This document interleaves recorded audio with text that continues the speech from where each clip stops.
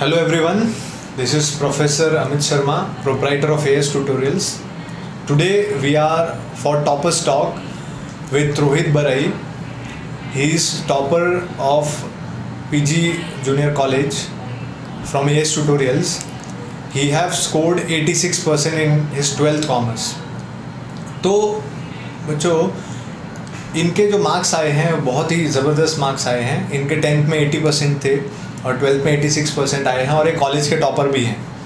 तो आज हम इनसे बात करने जाए, जा रहे हैं और इनसे बात करके जो बच्चे पीजी में जाते हैं या जो कॉमर्स लेते हैं, उनको बहुत ही हेल्प मिलने वाली है। इसीलिए आप इस टॉपर स्टॉक को बहुत ही ध्यान से अच्छी तरीके से सुनेगा और रोहित का एक्सपीरियंस आपको पता चलेगा, जो इन्होंने यहाँ पे रहा है इनका एक्सपीरियंस पूरे एक साल का। इन्होंने ट्वेल्थ में ज्वाइन किया था तो तो आप, आज हम इनसे टॉपर स्टॉक में कुछ क्वेश्चंस पूछेंगे, जिनका जवाब ये देंगे और आपको गाइड करेंगे। तो रोहित, आप सबसे पहले अपने आप को इंट्रोड्यूस कीजिए सबके सामने। हाय मेरा नाम रोहित बराई है। मैंने अभी अपना ट्वेल्थ एसएससी बोर्ड पास किया एटी सिक्स परसेंट से। मेरे टेंथ में seventy nine point six percent आए थे। मेरे कॉलेज का नाम पीजी जूनियर कॉलेज बोडी है। और मैंने बहुत अच्छे से पढ़ाई किया, तब जाके मैंने एटी सिक्स परसेंट आए। तो जैसे कि आपको रोहित ने बताया कि उसके अभी 86 परसेंट आए हैं और he is very happy for that percentage और काफ़ी मेहनत की है इन्होंने ये परसेंटेज स्कोर करने के लिए। तो हम इस टॉपर स्टॉक को और आगे बढ़ाते हैं अब और रोहित से कुछ क्वेश्चंस पूछेंगे जो बहुत ही सारे बच्चे पूछते रहते हैं, अपने दोस्तों से, हमसे टीचर्स से, सबसे पूछते हैं। तो अब हम और भी क्वेश्चंस पूछेंगे रोहित से। जैसे कि अब रोहित, मैं बात करूँगा, आप जैसे पीजी जाते थे तो मॉर्निंग में आपको काफ़ी जल्दी उठना पड़ता होगा, फिर ट्रेन से जाना पड़ता होगा और वापस आते टाइम आप थक जाते होंगे। तो बहुत सारे बच्चे जब पीजी ज्वाइन करते हैं कॉलेज जाते हैं तो वो यही पूछते हैं कि वहाँ जाने के बाद ट्रेन का ट्रैवलिंग करने के बाद इतना टाइम कैसे मिलता है कि हम पढ़ाई करें, कैसे करें? तो बहुत ही बच्चे क्यूरियस हैं ये जानने के लिए कि आपने अपना टाइम मैनेजमेंट कैसे किया? पूरा दिन आप कैसे टाइम मैनेज करते थे, कैसे पढ़ते थे, किस टाइम पे पढ़ते थे, क्या करते थे? ज़रा उनको गाइड कीजिए। जैसे पीजी का टाइम क्या है? आठ से बारह। तो हमें ऑब्वियसली छः बजे उठना पड़ता था, तैयार होने के लिए। तो हम जैसे ही बारह बजे के ट्रेन पकड़ के आते थे, उमरगाँव तो एज का टाइमिंग क्या है? दो से चार। तो हम खाना खाते थे, खाते खाते दो बज जाते थे। तो जैसे हम क्लास में आते थे तो क्लास में आके पढ़ के जाते थे चार बजे तक। तो मैं एक घंटा रेस्ट करता था। मेरे को थोड़ा माइंड को फ्रेश करना भी ज़रूरी है। और ज़्यादा माइंड को बटन देंगे तो बहुत मुसीबत आ जाएगी फ्यूचर में। तो इसलिए अगर आप चार से पाँच सो जाओ, अगर आपको सोना हो तो। मानिए पाँच से सात तक, दो घंटा आप रेगुलर पढ़ो तो आपको कोई भी बर्डन नहीं आएँगे। अगर आप रोज़ पढ़ोगे ना तो कोई भी बर्डन नहीं आएगा और आप अच्छे से कवर कवर कर सकते हो।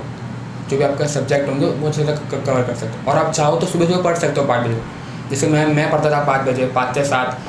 अगर कोई टेस्ट हो तो मैं पढ़ता ही था। और मैं टेस्ट को ज़्यादा मतलब रखता हूँ माइंड में बिकॉज़ टेस्ट हो तभी तो सर गाइड कर पाएँगे ना कि कहाँ कम मार्क्स आए और कहाँ कहाँ भूल हो गए हमसे। तो अगर पाँच से सात पढ़ोगे तो आपका माइंड फ्रेश रहता है और आपको जल्दी याद रहता है, जो अभी आप पढ़ते हो। तो ये भी अच्छा है। तो जैसे कि रोहित ने आपको बताया कि उनका टाइम कैसा था, सुबह छः बजे की ट्रेन पकड़ के वो कॉलेज जाते थे। कॉलेज पढ़ने के बाद बारह वाली पकड़ के यहाँ आते थे, फिर दो बजे क्लासेस आते थे, चार बजे तक क्लास में पढ़ते थे। उसके बाद घर पे जाके एक घंटा रेस्ट करते थे क्योंकि इन, इनका कहना है कि पढ़ने के बाद थोड़ा सा माइंड फ्रेश भी होना चाहिए और उसके बाद फिर से वो पाँच से सात घर पे डेली पढ़ते थे। सबसे इंपॉर्टेंट वर्ड यहाँ पे आपको यही ध्यान रखना है डेली पढ़ना। देखिए टॉपर स्टॉक तो आप बहुत सुनते हो पर आप पॉइंट्स नोट डाउन करना मत भूलिए क्योंकि रोज़ पढ़ना बहुत ज़रूरी है, दो घंटा। और जैसे कि इन्होंने बोला कि जब जब टेस्ट टेस्ट होता था ए में या कॉलेज में, ये वो टेस्ट के टाइम पे सुबह मॉर्निंग में उठ के पढ़ते थे, पाँच से सात, पाँच से आठ। तो मॉर्निंग में पढ़ने वाला जो सिस्टम है वो बहुत ही ज़्यादा अच्छा है। इसके पहले हम और भी टॉपर स्टॉक ले चुके हैं। तो उसके हिसाब से आप देखिए, सब जितने भी टॉपर्स हैं, सब एक ही बात करते हैं, सुबह उठ के पढ़ो, सुबह उठ के पढ़ो। सो ये बहुत ज़्यादा ज़रूरी है बच्चों। तो इसके लिए आप बहुत ही ध्यान रखिए, इन्होंने जब बात बोली है, अगर आपको इनकी तरह अच्छे परसेंटेज लाने हैं। तो रोहित, आपने काफ़ी अच्छा एक्सपीरियंस बच्चों के साथ शेयर किया अपने टाइम का मैनेजमेंट का। तो अब मेरा अगला जो सवाल है आपसे, वो ये है कि आप जब पढ़ते थे, बराबर है बट आप कौन सा बुक्स यूज़ करते थे? बच्चे महाराष्ट्र बोर्ड के पूछते हैं कि कौन से बुक्स आप रेफ़र करते थे तो आप इतने अच्छे परसेंटेज ला पाए। मैं ए का बुक करता था रेफर बिकॉज़ सर ने हमको एक अलग से नोट बना के दिए खुद की नोट बना के दिए ए की तो उस बहुत सिंपल लैंग्वेज में ज़्यादा कुछ हार्ड इंग्लिश लैंग्वेज में सिंपल लैंग्वेज अगर बात करते हो वैसे सिंपल लैंग्वेज में तो अगर आप पढ़ोगे तो आपको समझ में भी जल्दी आएगा और आप जल्दी से कवर अप कर सकते हो जो भी आप जल्दी से याद कर सकते हो। तो मैं एज के बुक ही रेफ़र करता था और कोई बुक रेफ़र नहीं करता हूँ। हम्म, तो जैसे कि रोहित ने आपको बताया कि वो जो हमने नोट्स दिए थे वही रेफ़र करते थे तो that is more than enough और आप चाहो तो रोहित की तरह नोट्स भी बना सकते हो, जो आप एक चैप्टर यहाँ से पढ़ के गए क्लासेस में लेक्चर हुआ, उसके बाद आप क्या कर सकते हो, घर पे जाके वही चीज़ पढ़ के बिना देखे लिख सकते हो, ताकि वो आपको लॉन्ग टाइम तक याद रहे और एग्ज़ाम में प्रॉब्लम ना आए, ठीक है? So that is the thing आपको ये चीज़ें ध्यान में रखनी है। बहुत ज़्यादा ज़रूरी है ये सब चीज़ें जो रोहित आपको बता रहे हैं, और अगर आप ये टॉपर स्टॉक देखने के बाद इन चीज़ों को इम्प्लीमेंट करोगे तो बहुत ही ज़बरदस्त रिज़ल्ट आएगा बच्चों। सो बहुत ज़्यादा ज़रूरी है ये सब चीज़ें जो हम बोल रहे हैं वो ध्यान रखना। तो रोहित एक और मेरा सवाल आपसे ये है जो बच्चे नॉर्मली पूछते हैं कि लास्ट में जब पढ़ाई करने की बारी आती है पूरे साल तो हम पढ़ लेते हैं जनवरी तक या दिसंबर तक उसके बाद लास्ट में जब एक महीना बचता है तो हमको पढ़ाई कैसे करनी चाहिए?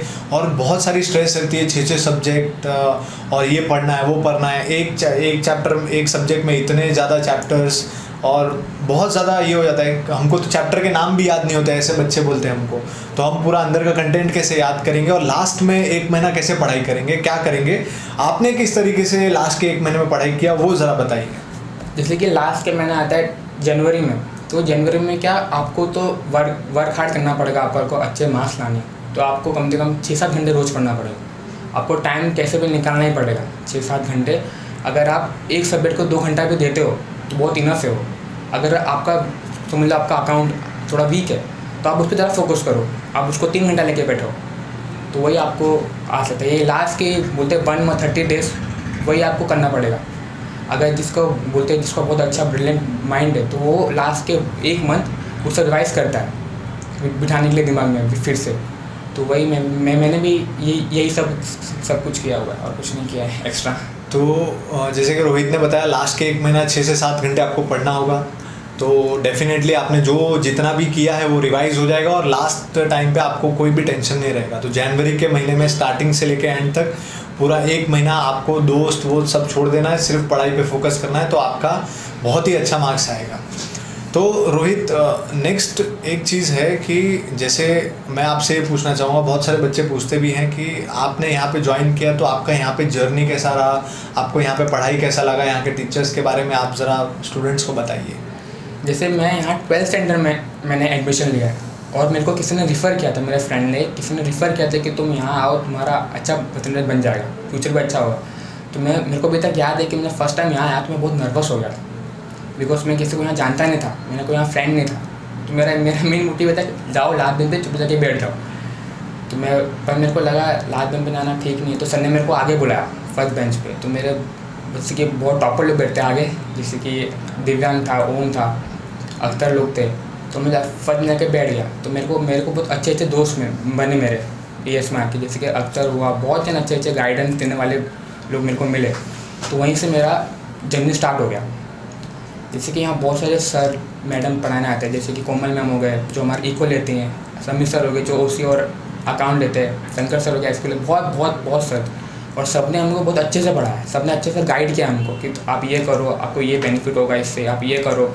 तो हमने हमने बस उनके बात फॉलो की और तभी तो हमारा एटी थ्री परसेंट आया। तो बस आप जो जो भी सर कहते हैं आप उसको फॉलो करो और जो भी जाता है पीछे इलेवन चैनल में मैं बोलता हूँ बेस्ट ऑप्शन है एस पर आ जाओ।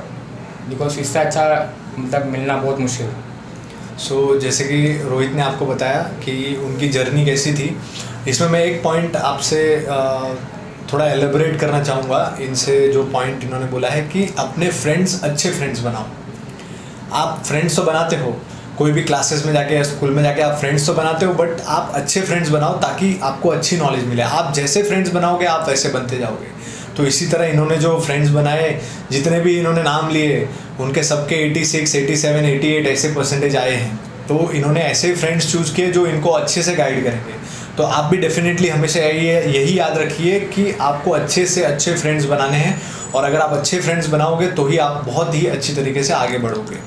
तो जैसे कि रोहित ने हमसे बात की हमको बहुत ही अच्छा लगा इनके इतने अच्छे परसेंटेज आए और ये कॉलेज में टॉप भी हैं ए से। तो कॉन्ग्रेचुलेशन रोहित। बहुत ही अच्छा लगा और इसी तरह अपने फ्रेंड्स को भी आप गाइड कीजिए और आगे फ्यूचर में बहुत ही आगे बढ़िए। Thank you thank you